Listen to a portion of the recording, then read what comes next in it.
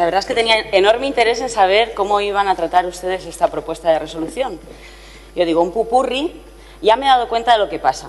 Debe de ser que aquellas personas del Grupo Popular que quieren promocionar han hecho una propuesta pupurri para que puedan venir aquí y en vez de centrarse en un tema y hablar directamente, interpelar sobre una política concreta o sobre los avances que se deben de hacer sobre algo concreto en el Gobierno, pues es para que ustedes puedan hacer aquí un mini debate de política general a imagen y semejanza de su síndica.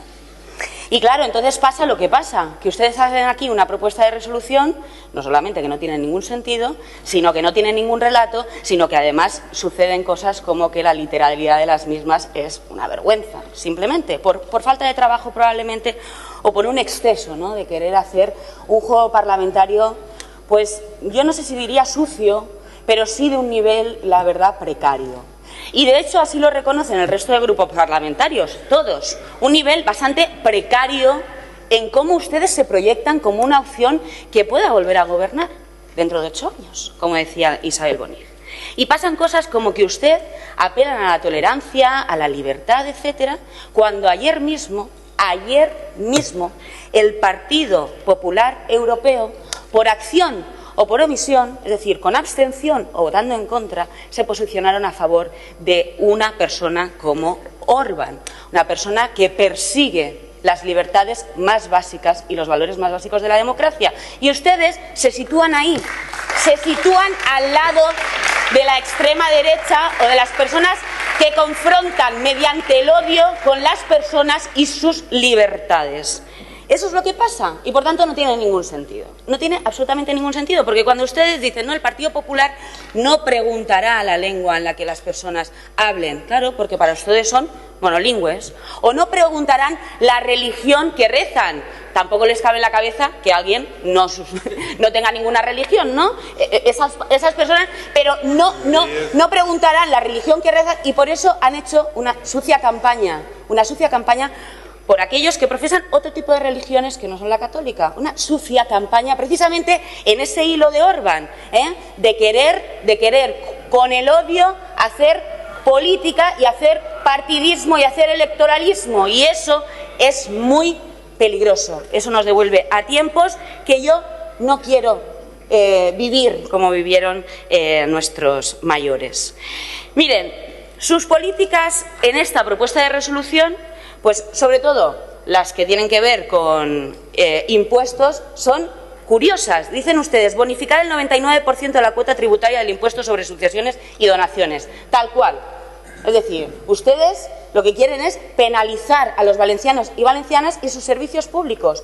¿Y favorecer a quién? A esos pocos centenares de valencianos y valencianas con rentas y patrimonios millonarios que pagan este impuesto, porque ustedes saben de sobra, y los datos están ahí, y nunca los mencionan, ni ustedes ni ciudadanos con este impuesto, que casi el 90% de las personas no tiene que pagar este impuesto cuando hace la autoliquidación. ¿Y dónde, quién es ese, esa parte que a ustedes, a ustedes les preocupa y, por tanto, hacen este tipo de propuestas? Precisamente aquellos que después se benefician, por ejemplo, de Complementar la gestión directa a través del modelo concesional y a la colaboración público-privada para, punto. Esa es su propuesta. ¿Para qué? Le ha faltado decir, pues para que facen negoci el Germans de Rosa. No sé, ¿para qué? Es decir, eso es literal de su propuesta de resolución. ¿Para qué? No lo, han, no lo han acabado de rellenar, se ve que porque les iba a traicionar el subconsciente. Es decir, ¿qué poner aquí en fomentar la colaboración público-privada en la sanidad pública? Pues los modelos Rivera Salud, Marina Salud, etcétera. Esos son los modelos. Dicen para punto. Esa es la precariedad de sus propuestas. O, por ejemplo, decir que no se habla de empleo y acto seguido decir que es que la solución es una ley de autónomos. Como si la mayoría de los trabajadores y trabajadoras fueran autónomos y no hubiera también.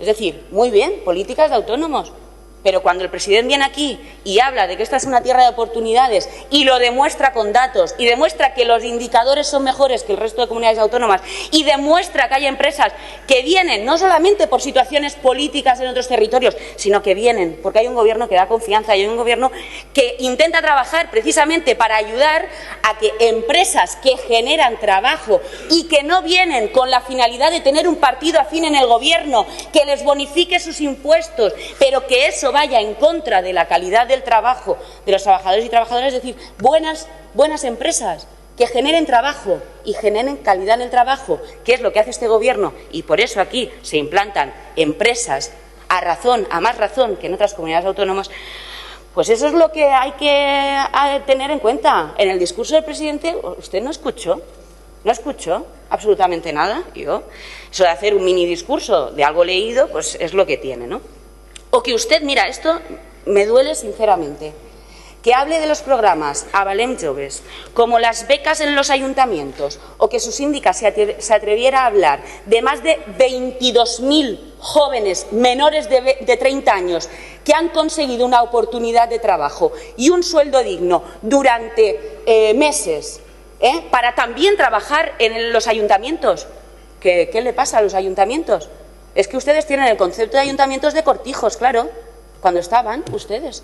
Es que el subconsciente les traiciona, pero son jóvenes valencianos y valencianas que han tenido una oportunidad y que han trabajado profesionalmente y no siendo ninguna red clientelar de ningún gobierno de turno. Me parece vergonzoso y denigrante. Yo creo que se merecen una disculpa todos estos valencianos y valencianas jóvenes.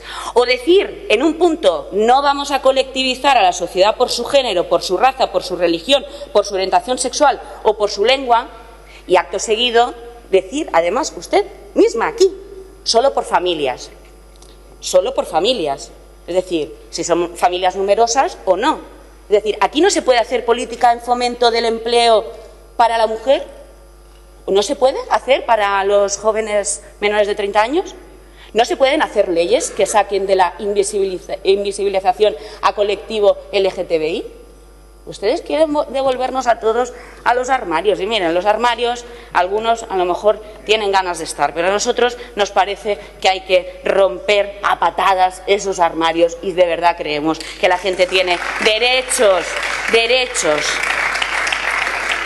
y mire, acabaré diciendo, la resolución Pupurri se la vamos a votar en contra, sobre todo porque define, en todo caso, un modelo caduco y un modelo ya que ha demostrado que era la fallida y la denigración de las instituciones. Y sobre todo, un modelo que no pensaba en la mayoría, sino pensaba, en todo caso, en el partido y en sus amigos. Y nosotros, mira, esto de las amistades, las amistades a veces pueden ser bastante eh, peligrosas. Nosotros preferimos que, eh, en este caso, los 5 millones de valencianos y valencianas sean no como un lema que hacía Camps, sean personas con libertad, dignidad y oportunidades. Gracias. Muchas gracias, señoría. Bueno, su propuesta de resolución, la verdad es que poco tenía ganas de defenderla. ¿eh? en esta réplica, todo se ha dicho, se ha notado. Pero eh, yo, sinceramente, entiendo que ustedes disparen. Disparen todo lo que puedan. Pero, cuando disparan y no sale, pues solo por un poquito de vergüenza, ya está. O sea, apártenlo en el cajoncito, ¿eh? porque ustedes, todo lo que han dicho aquí ha sido disparos que les han salido mal. Disparos que les han salido mal a la búsqueda, a la desesperada de comprobar que todos somos iguales. Y les sale mal porque no todos somos iguales. Mire, usted, fíjese la diferencia. Escuche, que a usted le puede parecer más grave que a mí lo siguiente, pero a mí no. Hay personas diferentes. ¿A usted le parece grave que una persona se pronuncie, ¿eh? se pronuncie libremente con su derecho a libertad de expresión sobre situaciones judiciales? Eso es lo que le parece grave. A mí lo que me parece grave es que ustedes intentaran destruir pruebas, documentos, eh, desviar la atención, manipular, etcétera, incluso usar dinero público para tapar que personas cometían delitos y tenían que acabar en la prisión. Esto es lo que me parece grave. Pero oiga, hay personas diferentes y yo las respeto. Y que como las ideas son libres y la libertad de expresión también, las hemos podido rebatir. ¿eh? Y por eso no soy yo la que tiene que callarse, ¿verdad?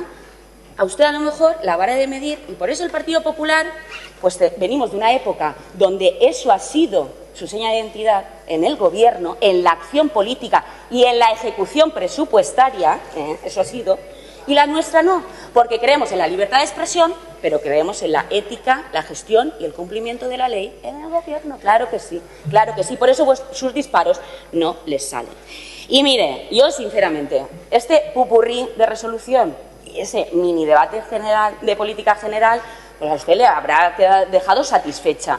A mí me parece que es una mala forma una mala forma de empezar este debate, sobre todo porque para mí no solo es un insulto a los parlamentarios que estamos en esta Cámara, sino al pueblo valenciano, porque se merecen al menos Moltes- que proyectemos los proyectos políticos y no aquí mini discursos que no valen para nada. Moltes gràcies.